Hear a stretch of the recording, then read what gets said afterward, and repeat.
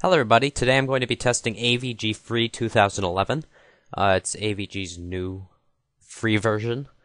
Um, I hear it has improvement over the last versions. Um, AVG has kind of had a a bad, so to speak, a little bit of a bad rap in some circles because of its lacking in rootkit prevention and um, it's been a weak suite in the past and also a heavier uh, software compared to some of the other free softwares out there. But we're going to see how it does now. Um, it's a downloader. It's going to be downloading the software um, through this installer. So when you download the installer, it's only few kilobytes. And then, of course, they're trying to get you to get their pay version. Uh, quick install, that'll be fine. They have, I think, kind of completely revamped graphics this year. I hate security suites that install toolbars security programs install toolbars. It's so annoying. Link Scanner is kind of cool. Link Scanner, uh, if you're not familiar with it, when you are on Google and you Google something, um, it'll put little um, icons next to the links, and it will show you which ones are definitely safe and which ones are not. Um, it's a it's a neat addition to a program, I think, because um, it'll show you whether you could trust a site right off the bat or not. I think some people need that kind of help. Um, all right. The first thing I noticed is that AVG is about twice as large as both of the other free um, programs I tested, Avira and Avast. It's 110.4 megabytes, as opposed to, I think it was maybe 30 or 40 or 50 or something around that range. This is a much heavier program. I tried to start this video earlier, and uh, the cursor was completely glitching out, so I had to start over. So this is my second attempt. Alright, I'm going to pause this video while this downloads because it's going to take a heck of a long time. And um, we're going to get to the testing. I have 12 links. Um, after this is done installing. Um, so you won't have long to wait before we get to the business. Alright, so it says the installation was successful. Uh, it was a no-click process. Just installed it. It wants me to register. Um, I'm going to go ahead and do that. So I'll be right back. Alright, and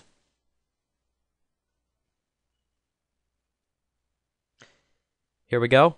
AVG also has little pop-ups at the bottom uh, telling you to upgrade.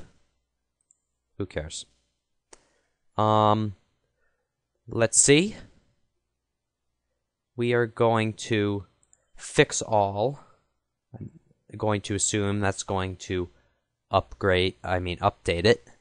If we go to here to updating. Um, the file size is not very large, which is really nice, I think. Um, and they can do it fairly quickly. And can install the new updates. One thing that bugs me is once you download the entire suite and then it has to download uh, like four, it's like 40 megabytes of updates. It really bugs me. AVG has a little graphic here, uh, little, looks like a pinwheel, uh, showing you that it's scanning, I guess. Um, let's see. We have AVG, AVG, AVG, AVG, AVG, AVG. Uh, I think this is all AVG. Jeez.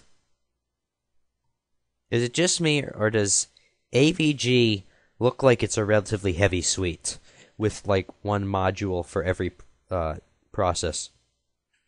Jeez. That's impressive in its own right. Alright, let's take a look here. Um, if we click on this, It'll give you information about it. Um, let's see. Components. This is all the components. Um, history tools. Advanced settings. Let's take a look at these. Okay, so this is like a lot of settings, I guess. The appearance. Um, it's fine. Sounds. Uh, faulty identity protection, virus vault, pop exceptions, potentially unwanted programs, link scanner, uh, anti-rootkit. Um,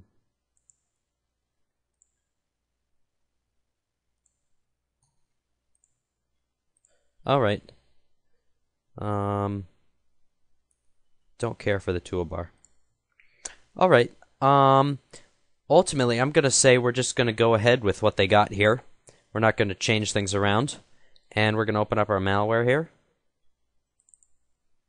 And we're going to open up our Internet Explorer, which is completely unpatched so that AVG has to do all the prevention work. And let's start punching some of these links in.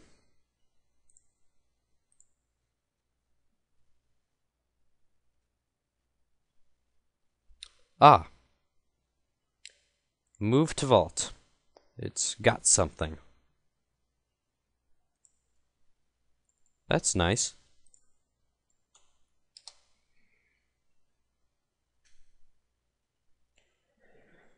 And see, that looks like a big one. I'm going to download something else while we're waiting for that one.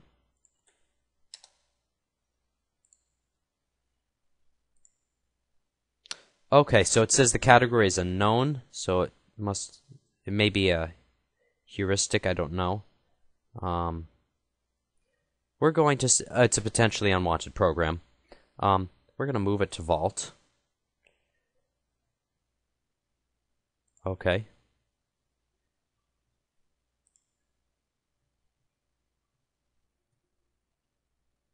It wants me to restart to complete the removal. Um, I'm not going to restart right now. I think that was the same file there. This is the other one. We're going to run that. And AVG finds that one too.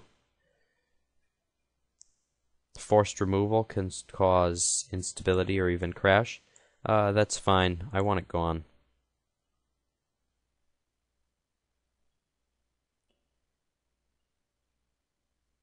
Can also click more info if you want to know. It'll bring you to their uh, virus database and it'll show you what's going on. Um,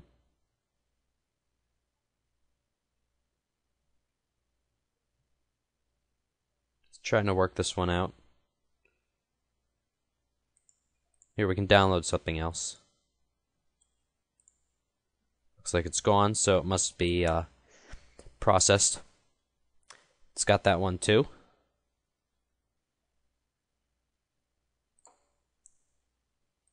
Mm, object does not exist. Let me go to file. Let me see if it's there.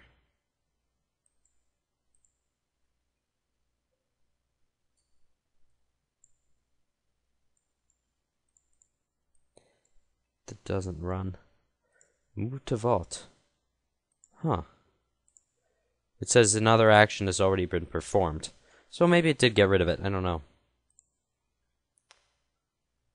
Alright. I'm going to say do not show me. So this is just, um, it just kind of ran me around a little bit of a loop there. But, um, it seems to have it. It doesn't exist, it says. Alright, so we're going to keep going here. AVG seems like it's uh, fairly strong um, this time around. Okay.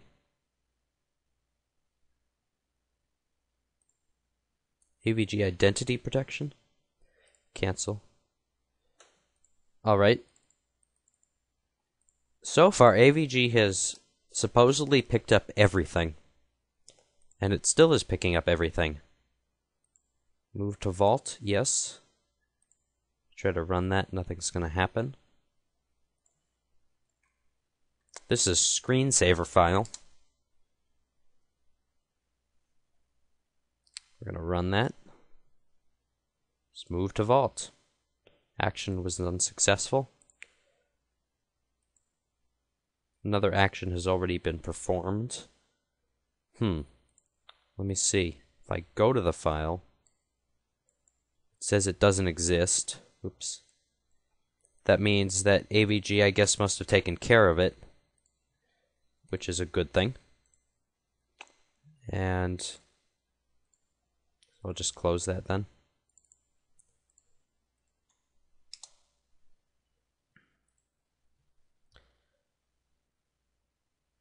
All right, move to vault.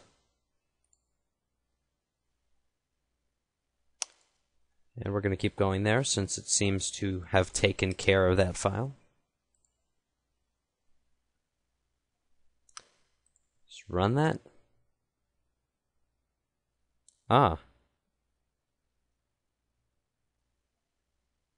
Uh-oh. Looks like we've got a little something through. Security tool. I hate this program. We'll try a scan later for that one. See if it'll pick anything up. Alright, got that one. Move to vault.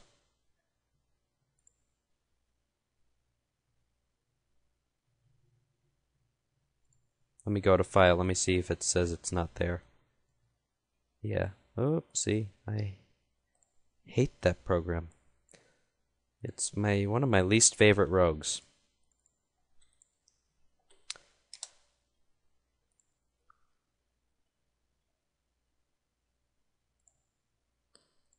Alright, and this one we're going to move to Vault. Does not exist, I guess. Um, we're going to cancel. We're going to restart later. Um,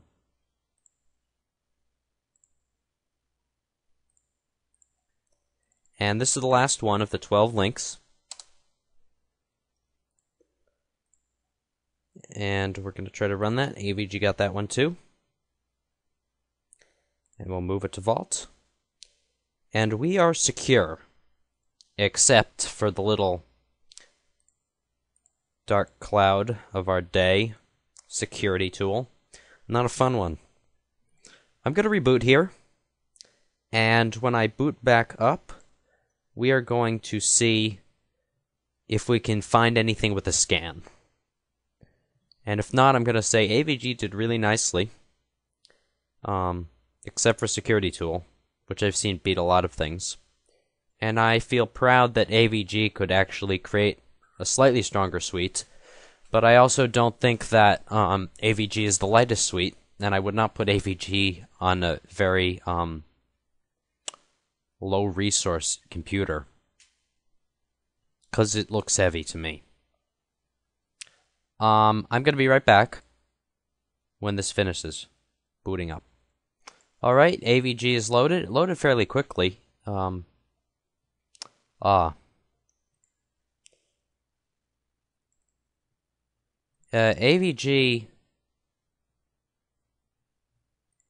is um running into a few security tool issues. Um, and it's really giving AVG a hard time. Um, I'm going to pause this for a second, get Rkill. Okay, Rkill is a fun little tool for killing um, programs like Security Tool. But apparently Security Tool um,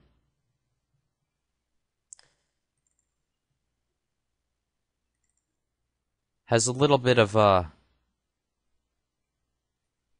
thing where Rkill doesn't seem to be able to prevent it. Ah. So maybe we got through. Um. Alright, it says it removed that. Uh, okay, so it's it's still giving me a pain in the neck.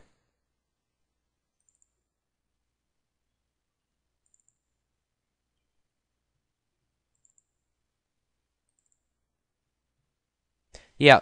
So I would need to go through some advanced procedures um, to get rid of security um, tool.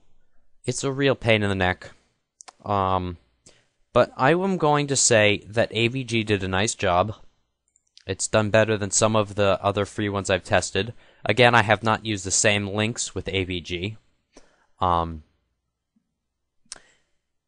but I would say that it seems like it is definitely improved this time around. And um, give it a try if you want to. I think it's higher up on my list. I'm not sure it's my favorite, especially because of the resource usage. And I only tested against 12 links. To do a successful test, you would have to use about 100 or more. Um, and test all the same links against all the same programs to see. But I do think that AVG is improving. And I hope you found this video enjoyable, and I hope you learned something from it. And I'm probably going to make another video using Panda uh, Cloud Antivirus with the same links so you can compare these two programs. Alright, thanks for watching, everybody. Goodbye.